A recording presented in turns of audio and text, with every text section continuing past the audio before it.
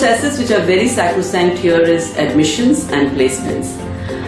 Admission, we all know it's, it's, it's a tough call here to get admitted into FMS, but once you are here, then, then uh, placement is a second process wherein we ensure that the best goes out of this uh, building and the recruiters are definitely going to be very excited about the candidates who pass out from this building. We have students from all parts of the world representing all different regions and I would say this gives us the required culture we would want. We have a very happy blend of academic excellence and industry inputs which exposes our students to the best in terms of both the world.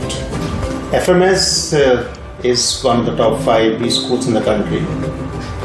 In fact, it is the best school in the university setup in the country. Of course, it attracts the best of talent. The reason being that students, the kind of personal space that the students have in FMS is unimaginable and unimaginable. As an entire student fraternity and a college runs with three big pillars the faculty, the DU, and the students. We here try to create an ecosystem which actually, you know, you may go to a different B school and learn so many other things, but this ecosystem is something which is very unique and can only be seen in a college like FMS.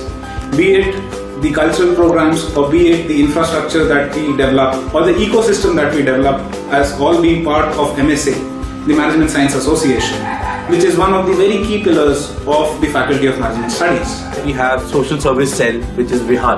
We do multiple activities like NGO visits. Uh, you know, we have multiple crowdsourcing activities. We take students out to rural visits and also we have some social entrepreneurship projects which students of FMS do.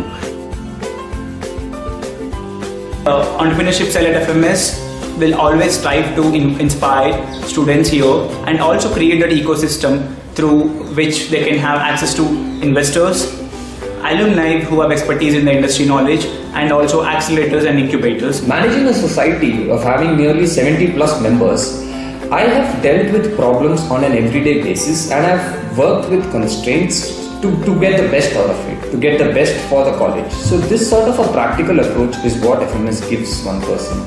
It is not just limited to theory alone, you, you use whatever you have learned on a practical basis.